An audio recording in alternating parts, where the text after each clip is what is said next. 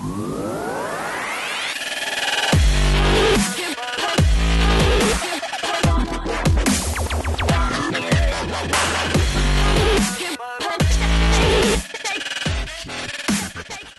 going on, everyone? This is Dustin Stelzer with Journey to Master, and today we have another tool to review.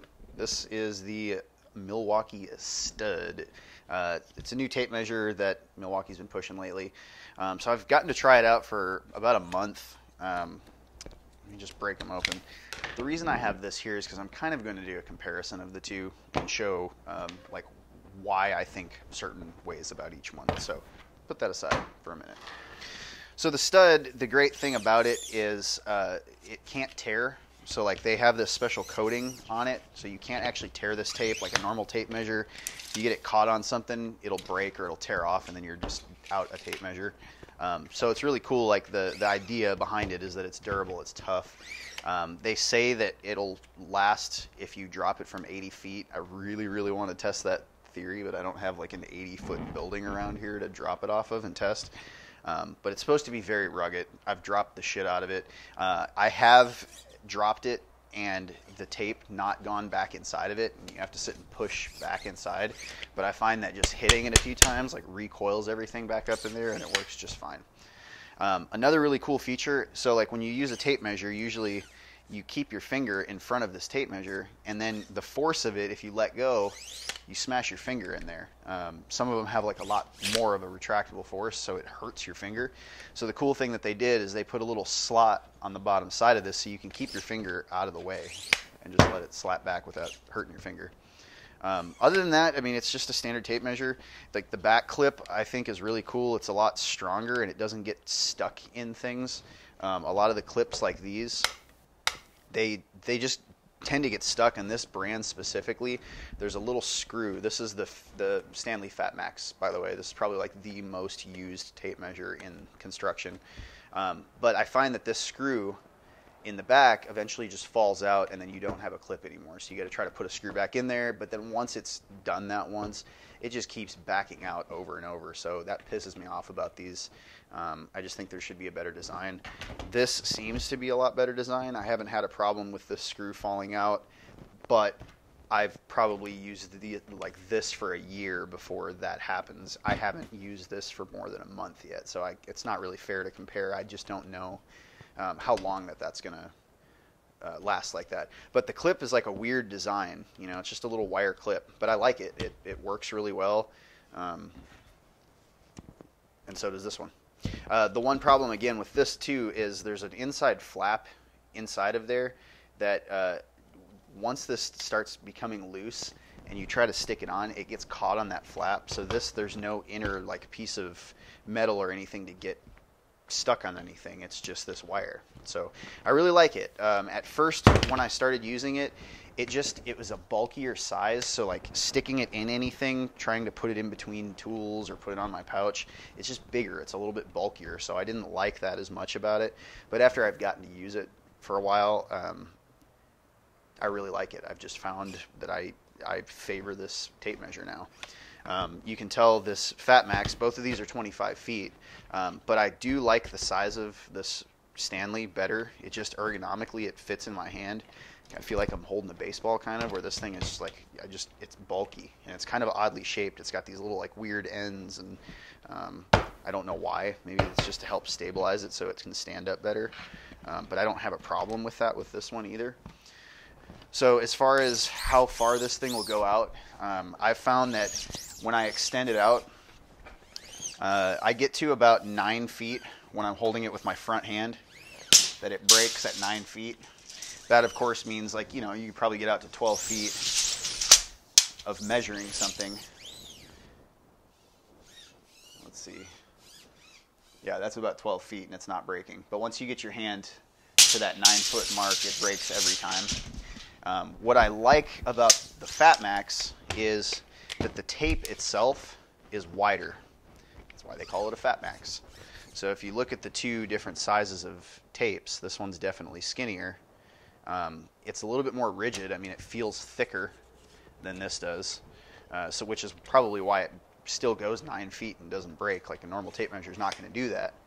Um, but this one, the Fat Max, what I like about it is, as an electrician, like we're always working above our heads and we're trying to measure off of you know things that are really far away. So I like that I can go further with this. I mean, this one breaks at 11 feet. Um, this has been used a lot, so I think it breaks a little bit shy of where it should. I've gotten like 13, 14 feet out of these before they break. Now, I mean, it's kind of hard. Once you get out to 14 feet, you notice the end of it starts to bow down so much that it's really hard to take a measurement off of anything. I mean, you kind of have to, you have to be very delicate with it to be able to measure like that. But I love that about the Fat Max. That's why like the Fat Max has always been my go-to, and I think it's the go-to of most people. Um, but I've given this a shot, and uh, I really do like it. So I think I don't really have a reason not to give it five stars, but I just I'm not 100% happy with it. I'm not happy enough to throw this out and be like, hell yeah, this is the best one. Um, I think that these are both really comparable. The only thing I don't like about this is the size, um, and I do wish that it had a fat, a little bit fatter uh, tape on it. But you know the numbers. See if you can get a close up of the two tapes side by side.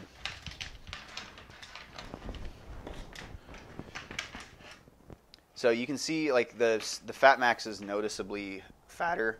The numbers are a little bit smaller. Um, I do like how the numbers are large on this one. It's just easier for you to easily recognize what you're measuring. These are a little bit smaller, so you got to kind of look closer. But it's the same. I mean, they mark the they mark every foot with an arrow, and they make it bold, and they mark every 16 inches with uh, red. Every pretty much every tape measure does that. Um, so there's not anything that's like that much more unique about either one of them. Uh, one thing I've noticed that there's some brands out there, and I don't even know who's doing it, but it's just something I thought was cool that I saw. Utilizing the backside of the tape, like putting numbers and putting tick marks on the backside as well. Because if you're, you know, if you're if you're measuring something and your tape's like twisted or you're, you know, you're measuring in a weird way, every once in a while your tape's going to be upside down and you kind of have to sit and twist it to look at your number. So I just think it's a missed opportunity to not also print on the back sides of the tape. Once I saw that there's a manufacturer out there doing it and I feel ignorant for not knowing who it was. But after seeing that, I was like, "That's so stupid. Why don't people? Don't, why doesn't everybody do that?" So it would also be cool if either one of these guys would do that. I think it'd just be another like no no bullshit selling point for all of them to do. Um, I just don't see it very often. I personally don't like magnetic tapes. Neither of these have a magnetic end. Um, and I like that because if I'm in a metal building, you know, yeah, it's nice to extend this and have it just stick to a wall and be able to take your measurements off of. But I find that it gets stuck to shit all the time and it just bugs the hell out of me. So I personally don't like them.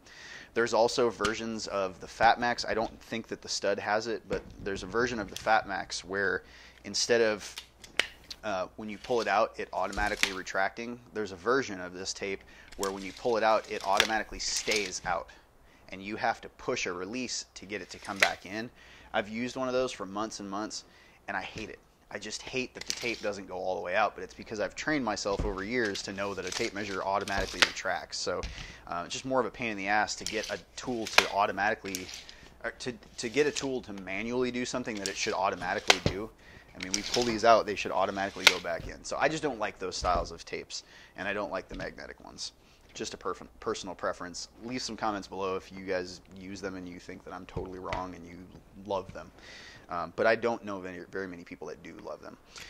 So last thing I think to talk about is the ends of these. I'm going to try to get up close to you. So if you need to focus, um, can you see those both clearly?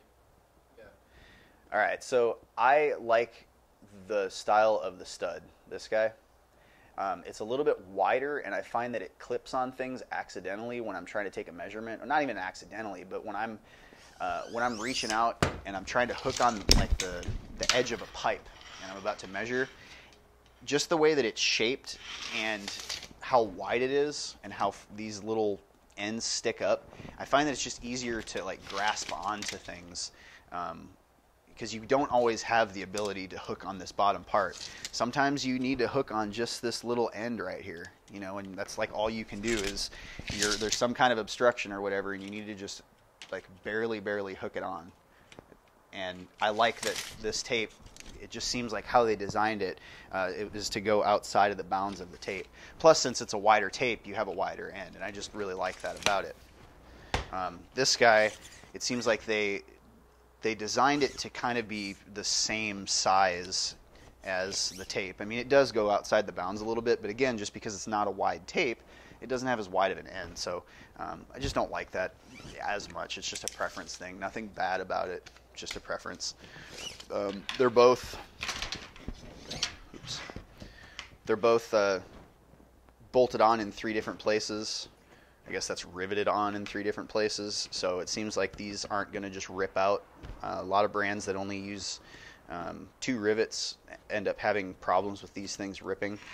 Um, I do find that there's a little bit more play in the stud and the end of it. So as far as accuracy with your measurements, the stud has a little bit less accuracy. I think this, and it's maybe just because it's newer.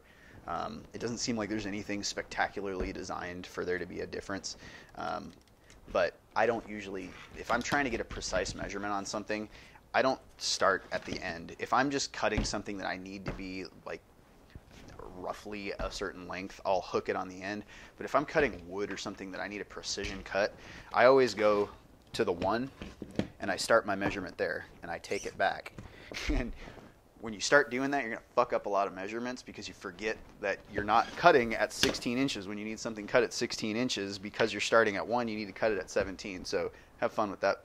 But uh, I just find that the measurement when you start at one or like a common number, um, it's far more precise where your measurement is. So uh, th- that's the only shitty thing about all tape measures is that the front end's loose. So you have probably a 16th to an eighth inch of incorrect cut that you're going to get. So that's pretty much it. Um, again, I think 4.5 stars is pretty fair. I want to give it a five just because I love Milwaukee.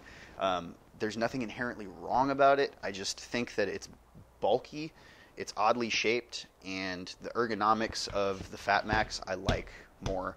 And I like the tape, how it's wider. It has a, a longer break, and for electricians especially, a longer break like that is, is a really important thing to have because again, everything that we're doing is up and over our head, and we're getting like measurements that are 100 to 120 inches. That's that's 10 feet, you know. So we need it to be able to extend that 10 feet without constantly breaking all the time because you don't always have the benefit of being near a wall when you're measuring something. Sometimes you're in the middle of a room and you've got eight feet to a recessed can over there and eight feet to a recessed can over there, or you know you just don't have the flexibility. You're out in the middle of a room up on the top of a ladder.